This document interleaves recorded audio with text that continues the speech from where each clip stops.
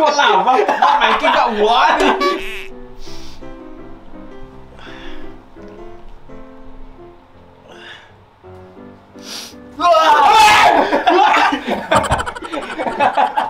Dia kaget.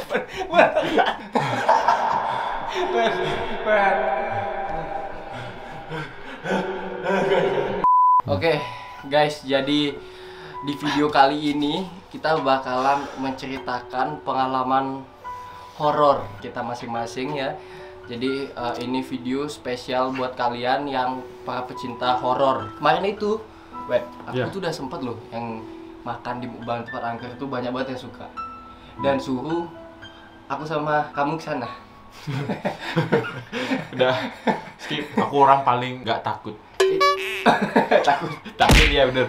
Aku di keluarga aku nih Hah? orang yang paling takut tuh aku. Oh gitu. Jadi orang yang paling nggak berani. Kenapa bisa gitu? Kayak mandi aja dianterin gitu. Sampai sekarang. Enggak sih. Pokoknya terakhir tuh kapan ya?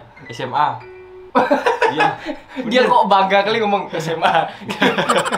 Nggak. Aku dari SD juga udah mandi sendiri. Nggak emang bener. Aku paling nggak berani. Apalagi udah malam. Udah aku mending diem di kamar. Bener bener bener. Saat tidur udah sendiri ya? Ya. tidur sendiri. Udah mulai belajar dewasa. Oh, asik. Asik. Nah, guys, jadi kita akan menceritakan pengalaman horor. Yang, yang jelas Weda pasti banyak sih mungkin. Banyak, banyak pasti. Aku ada beberapa yang mau ku ceritain juga. Pan pegang pan. Mau copot. Kerasa dulu Ben. Mulai dari siapa nih? Kamu aja dah. Mulai dari aku dulu. Aku- kalau biasa kalau pertama tuh gimana ya? Kayak eh, grogi. BTW kita syuting di rumah Weda ya. Iya, ini jam berapa? Ntar ada. aku cek. Jam berapa? Udah hampir jam 12 lewat nih. Udah jam 12 lewat guys. Astaga, Jadi aku ke sini tadi jam 10-an. Emang Ah, sengaja ya? Iya sengaja, biar, sengaja biar, biar, biar ada suasana ada serem suasana seremnya Ya. nih. Dulu waktu aku di di kampung kan ada rumah. Ya, rumah siapa? Rumah Ru- kamu. rumahku, rumah tetangga. Tawa udah serius. Dulu itu itu rumah bener-bener serem banget. Hmm, serem. Jadi gini guys, aku ceritain ya. Jangan ketawain. ini benar ini ini true story btw.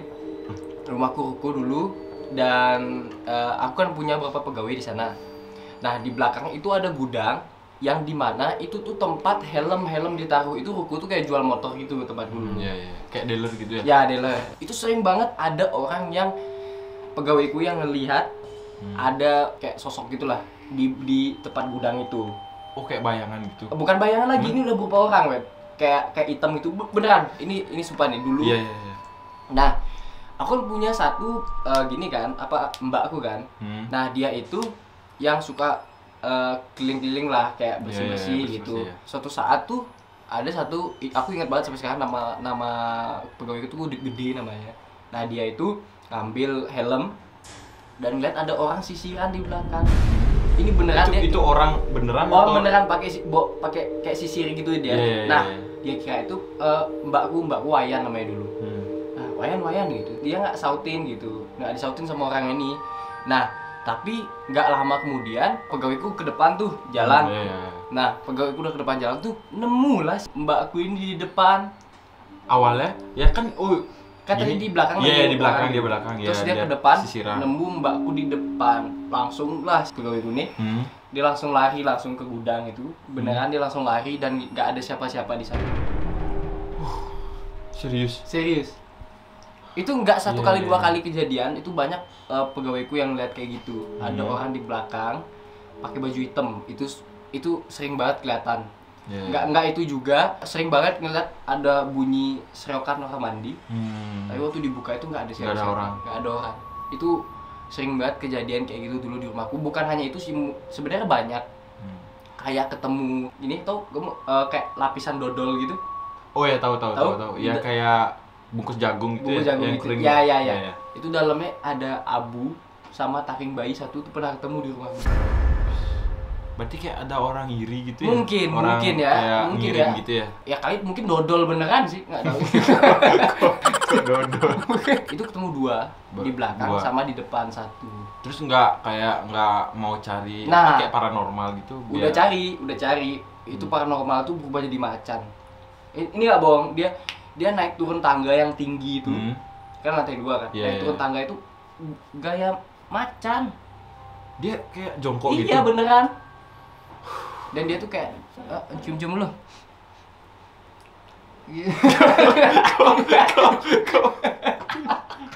Dia dia nyium-nyium gitu dan akhirnya ketemu lah si dodol-dodol itu. Oh yang ngisi taring bayi. Iya sama abu mayat katanya. Hmm. terus dibawa ke mana? Akhirnya itu dibuang dan nggak boleh dipegang sembarangan katanya. Ke- biasanya kalau nemu-nemu gitu tuh kayak dibakar gitu nggak? Iya iya dibakar, Dibakar benar ya? benar benar dibakar. Kejadian-kejadian itu bukan satu dua hal. Kayak ini ada cerita ketiga lagi. Hmm. ketemu ular gede banget. Nih dulu ingat Di mana, banget di aku waktu kecil aku kan lagi les nih les matematika di rumah. Iya. Bener-bener di rumah. Guruku nama Bu Sinar aku ingat banget. Lagi begini kan lagi les. Ada ular gede banget tuh lewat dan yang lihat tuh guruku. Hmm. langsung dia teriak langsung mau udah bawa uh, bambu gitu kan. Hilang. Ular gede banget beneran hilang. Itu di rumahmu? Di rumahku nah sewaktu kita pergi ke ke sini sewaktu kita udah pindah ke sini itu rumah kan mau dijual. Hmm. udah ada orang beli udah ada orang mau beli. Iya, iya. ketika dia masuk rumah itu langsung batal beli. Kok bisa? Nggak tahu ya mungkin auranya jelek ya kali. Mungkin karena udah nggak ditempatin iya, sampai sekarang. benar, benar. karena udah nggak ditempatin. lama ya nggak ditempatin ya di sana tuh juga ada kolam ikan gede. Itu Hmm. nggak disem- disembayangin gitu loh nggak di ya mungkin Ini kayak ada yang beli kayak merasa terganggu gitu mungkin ya gitu. Jadi itu itulah ceritaku kalau aku rumah yang di sini sih mungkin ada beberapa kejadian yang kayak Iya. ada suara-suara aja mungkin kayak lagi sembahyang gitu. Hmm. tiba-tiba ada yang ada yang gitu. Pernah itu kayak beneran- malam-malam gitu. Beneran ada ya pernah. Iya. kayak terus aku ya udah positif thinking aja ya kan. Mungkin angin gitu. Itu sih ceritaku ada sih beberapa mungkin kalau kalian next mau lanjut lagi part 2 nya mungkin kita bisa cerita lagi gitu. Ntar aku Cerita- aku ada kayak dua cerita nih. Dua Ya, cerita oke. yang lumayan serem. Mm-mm. ini kejadian nyata. Nyata. Kan? Iya nyata nyata. Oke, itu oke. kayak pas waktu SMA kalau nggak salah. Pas 17 Agustus. 17 Aku- Agustus? iya aku kan seneng kayak mendaki gitu. Oke. Nah, kayak mendaki aku Hah? aku yang rencanain sama temen-temenku. Kalau nggak salah hari Minggu ya aku berangkat Ya, aku nggak tahu, nanya aku. ya oh, iya.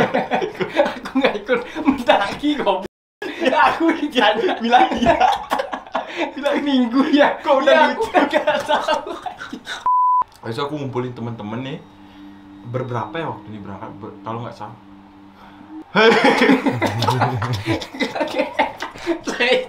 Aku ngajak itu ganjil bertuju. Ganjil? Iya bertuju. Oke, Kan terus? biasanya orang-orang tuh bilang kalau mendaki tuh pasti nggak boleh ganjil nih. Orang ada temenku nih bilang udah jangan berangkat. Kapan-kapan aja gitu. oke Udah lah berangkat di perjalanan nih. Saya di jalan, di jalan nih ada lagi satu kejadian nih di jalan. oke Tiba-tiba aja kayak eh, lewat jembatan nih api temenku Ah. tiba-tiba jatuh. Padahal itu di gini di Pin- apa namanya di di tasnya dia di kerek gitu. pintunya Maksudnya jatuh keluar mobil atau jatuh Enggak, enggak naik motor nih naik motor. Oh naik motor Iya, udah kayak udah dikerek-kerek gitu. Oke Tahu terus- kan tas-tas Iya iya gitu? tahu tahu tahu tiba-tiba jatuh habis itu pecah kok bisa pas kali di Wah, jem- itu- pas di jembatan pecah Oke, oke. pecah tuh apa ya Terus? Habis itu udah paling oh, apa tuh krek-krekannya rusak Oke oke gitu terus? Diambil lah habis itu lagi lanjut perjalanan. Terus dah di kayak dikasih apa ya namanya? Kalau dikasih kalau apa ya? Apa sih istilahnya tuh? Apa? misalkan kita kayak dikasih Sajen. masalah-masalah tuh loh. Sebelum berangkatnya udah ada aja masalah Oh, gitu. problem. iya Bahasa problem gitu nah kita mulailah mendaki. Oke. Eh, dari tempat parkir sama eh, perjalanan mendaki itu kan lumayan jauh. Ah, oke, kita jalan. Jalan dulu. Jalan biasa nih jalan Hmm. kayak jalan setapak gitu. Oke Oke. Naik naik naik terus. Naik puncak gunung. Katanya naik naik. Aku lanjutin dalam mati. Ke puncak gunung. Fanny aku udah sampai pos camp 2 nih. Oke dah. dari sana dah aku. Kayak udah mulai merasa diganggu nih diganggu Oh, aku kayak- posisiku paling belakang. Ah. Kan biasa tuh kayak mendaki tuh pasti kalau orang yang paling pertama tuh orang yang paling tahu gunung. Oke Nah, posisiku di belakang nih. Aku udah kayak merasa ada yang kayak ada yang ngikutin gitu. Ya kalau di belakang sih pasti serem sih Iya kan Kalau di kan? Aku udah kayak gimana ya? Udah ada yang ngikutin. Habis itu aku kayak lihat ke belakang nggak ada orang. Kayak ada jalan kaki tes tes tes. Wih itu serem banget sih Aku sih agak jauh gitu gininya jarak dari Oke. temanku yang di depan sama aku nih. Ya udah ada eh ngikutin. Aku udah Terus lihat belakang kan? berarti? Iya terus aku lihat belakang. Aku sampai giliran loh biar kayak lima menit lima menit sekali tuh aku pasti kayak ganti posisi. Oh gitu? Iya biar nggak nggak ketakutan. Habis itu temenku temenku juga bilang gini dia e, katanya ada yang ngelempar-lempar batu gitu. Abis itu bilang dia bilang gini wait kayak yang lempar batu ya? Aku kan udah posi- aku udah di depan. Nih Ah. wait kayak yang lempar batu ya jangan bercanda nih gunung gitu. Hah, nggak ada aku ngelempar Ta- tapi coba ah, kalau biasanya lempar batu tuh apa biasanya? Biasanya kalau mistis, Itu mistisnya gitu apa? Iya, nggak nggak tahu mungkin kayak ada, Ada ya? pohon apa gitu daun jatuh Oke, mungkin oke, gitu ya. oke. Tapi aku nggak tahu. Tapi kan jelas dia kayak dilempar gitu. Kayak Bad- iya, gitu. bad- badannya dilempar terus Beneran? Iya. Eh jangan ya lempar batu. Hah, ngapain aku ngelempar batu? Eh jangan bercanda, jangan bercanda di gunung tak gituin kan. Itu cuma tujuh orang di situ. Iya cuma tujuh orang. Habis itu eh, adikku nih sama adikku nih. Heeh. Dia dia lihat dia terus dia lihat ke belakang, nggak ada orang, nggak ada orang. Habis itu semua udah di di belakang nih katanya katanya adikku nih. Katanya ada orang di belakang. Habis itu Ya, ada aku orang. yang merinding. Sumpah ada orang di belakang. Perasaan dia ada paling belakang. Dia adikku nggak merasa dia paling belakang. Oke, oke. Padahal dia paling belakang nih diam oke, sendirian. Tapi dia katanya ada orang di belakang. Habis itu di, diceritain lah nih di pas di camp ketiga Ah. ada kayak pos gitu Oke, kayak oke. tempat camp gitu sana dia ceritain dia bilang gini eh tadi aku kayak lihat orang di belakang men tadi yang eh, yang jalan jalan di belakang itu siapa aku ih orang kita yang jalan di belakang sih Eh, siapa lihat gitu Hah? tadi orang ada orang di belakang lagi satu ada gitu siapa men orang kita lo berangkat bertujuh mana ada orang lagi satu itu nah dari sana ada Wih, gila. Aduh, aku merinding Oke, sumpah, aku merinding. Habis itu beneran adikku lihat orang tuh kayak eh, dia pakai baju hitam full. Sumpah Itu pas di mana? Pas di mana? Pas di gunung, pas di perjalanan naik tuh. Kalau nggak pos 3 ke eh, dari pos 2 ke pos 3. Oh, pos 2 pos 3. Itu kayak hujan gitu loh, hujan. Oke, oke. Dia ceritain beneran dia lihat eh, orang pakai pakaian hitam. Habis itu dia lihat monyet, monyet, monyet hitam di atas. Lagi-lagi di, kayak diliatin gitu loh. Wah, gila diliatin sumpah. Habis itu adikku diliatin terus terus diliatin mamunya di bawah baru berani cerita cerita tuh. Itu katanya emang penunggu ya di sana mungkin katanya. Oh. mungkin mungkin kita ya eh, gimana ya kayak ada ada salah mungkin di gunung tuh Hmm. kayak bercanda bercanda itu kan nggak kayak- boleh. Terus? nah dari sana dah kayak buat jadi pelajaran jangan sampai oh, cari-cari masalah gunung kan bahaya Oke, itu. itu udah, cerita. udah sumpah paling takut Ya sih, Beneran. apalagi kalau ada di kejadian itu pasti lebih serem Ih, ya. parah parah Apalagi itu malam-malam kan. Iya orang ih Iya, jelas makanya. dilihat orang ngikutin nih. Diikutin orang baju hitam siapa lagi? Di belakang orang dia aja sendiri di belakang dilihat ngikutin Tapi itu jaraknya jauh nggak sih? Jauh, Jauh. apa? Nggak maksudnya Nggak, da- kaliannya apa mepet semua? Enggak, yang yang paling belakang tuh agak lumayan jauh. Kok dia berani? Kan kan biasa tuh kayak naikan tuh pasti giliran naik kan nggak mungkin lah Oh, nggak- bareng oh, pasti iya, iya. satu-satu naik. Nah, yang paling belakang dia lihat di belakangnya ada orang pergi. Anjir itu. Dikira tuh pendaki lain. Tapi nggak ada pendaki. Nggak ada, Pak. Ditungguin lah nih di Hmm. di camp 3 nggak ada yang lewat. Cuman kita aja bertujuh nih. Oke. Wah, men, Wah, langsung bingung. Oh, siapa yang tadi? Tapi itu biasa sih, maksudnya kalau di hutan tuh emang nggak nggak jarang ada yang gitu ya, apalagi penuh apa uh, namanya hutan lebat itu penuh pasti ada. Iya, pasti ada. Dan dan orang kayak eh, yang mendaki tuh nggak jarang gini nggak sih kerasukan gitu. iya, iya kan, sering, nggak jarang kan, pasti sering pasti, kan? Pasti sering ya Eh, benar. sering kerasukan tuh jadi eh, memang kalau udah gunung itu tuh harus eh, sopan lah jangan Iya, kata-katanya dijaga kan di sana kan ada penunggu gitu ya kalau aku dulu tuh sempet mendaki ya guys ya dulu waktu eh, sekitar SMA gitu sama Iya. temen-temen kan Biasa pasti kalau pertama kali pendakian tuh pasti Gunung Batur, cari ya yang ya ya gitu benar benar jadi eh, apa aku sebenarnya tuh paling malas kalau udah mendaki karena Hmm. itu capek capek, Capek loh. ya, benar-benar Jujur, capek. gitu Iya, iya. kalau udah mendaki gitu tapi kalau cuaca dingin gitu. Ya, kalau olahraga kalau olahraga biasa ya bisa aja. Maksudnya kalau mendaki itu kayak bukan mungkin bukan passionnya gitu. Iya, ya. iya, iya. Jadi agak males aja. Aku gitu. sampai pernah sampai trauma gara-gara kejadiannya itu. Sampai pernah trauma mendaki Nggak. bakal nggak mau mendaki lagi. Gara-gara kejadian yang lihat orang. Oke. Sumpah itu jelas sekali. Tapi Parah. bu- eh, bukan kamu ya kan yang lihat adikmu kan? Adik gue. Jelas dari mananya. aku dulu jujur pernah Ah. dan tapi ya kayak kayak eh, kamu bilang tadi cuma dilempar batu aja sih.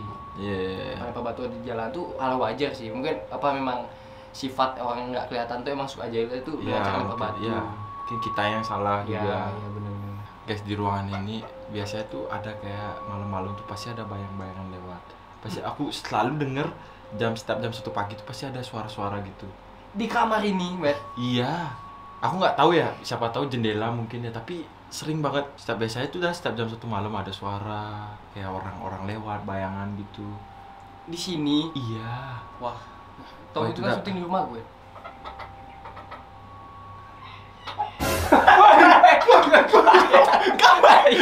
Woi woi ngapain ke sini Dari tadi syuting di sini, guys.